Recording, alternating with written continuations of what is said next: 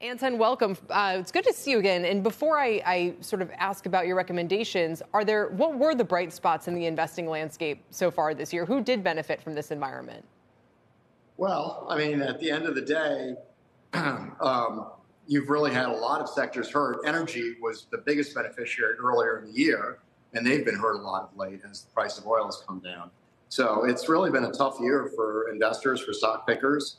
I think some of the biggest winners have been you know, the, the guys who've been uh, trading large uh, moves, you know, trend followers, because there have been some big trends, particularly earlier in the year. And you've had firms like Bridgewater have, you know, really big swings and returns as well. So been a tough year for, for most people. It has. So what about the banks? Why haven't they benefited from higher net interest income, in some cases record highs? Yeah, you, you can't, you know, you can't have your cake on any of the, the reasons people have been trying to figure out why banks are, are good. But the one thing that has happened is earnings have actually done quite well for regional banks.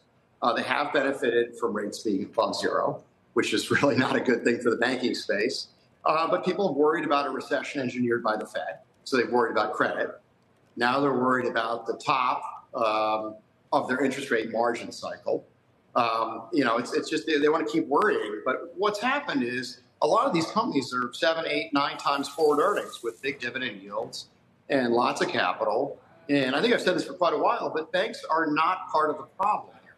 You know, it's the lending outside the banking space that's riskier, right? The, the, the cracks in the credit that we've seen out there have been companies that have, you know, targeted subprime consumers, the lower tier. And obviously that's hurt a lot, right? Yeah. The Fed rate increases hurt a tremendous amount. Inflation has hurt a tremendous amount. Those people are having a harder time paying their bills. Yeah. Um, regional banks tend tend not to bank those types of customers. Yeah. Um, you know, the other big fear is commercial real estate. Um, you know, oh my gosh, people have not come back to work. Our lease is going to get canceled. And again, if you really sort of think about the big commercial real estate, you know, it's it's gone into the pension plans, it's gone into the large life companies. You know, banks typically don't have those very large buildings in major cities, uh, other than their short-term basis during construction. So you and think, I think yeah, I was just going to say that valuation wise, basically, it's a good time to get in, broadly speaking. You also like, you say, the self help stories. What would a couple examples of those be? Sure. Um, so, New York Community Bank, uh, it's interesting I'm talking about the Northeast because you've heard me talk about tax advantage states. Yes. So, New York Community Bank has just closed a merger, and the company they bought, Flagstar, is actually a large mortgage company.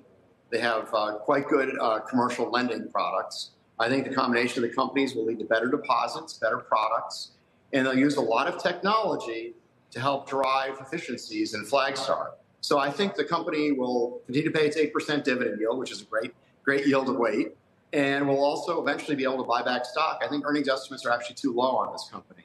I think there's a lot of commercial real estate. They lend a lot to multi-family real estate and particularly rent controlled. And so if you think about that rent controlled, I mean, no one's leaving there New York City rent control department. So before I let you go, am I hearing you sound pretty bullish and upbeat on the prospects of the Northeast, Anton? What is happening? Well, How can this be? How can I'm this being, be? I'm being, I'm being bullish on New York community and actually Provident Bank, which is in New Jersey primarily. Uh, you know, some New York, some some Pennsylvania. That merger Lakeland, same thing, right? I mean, you're going to get a lot of cost cuts out of it. You got a really nice dividend yield. You get paid to wait.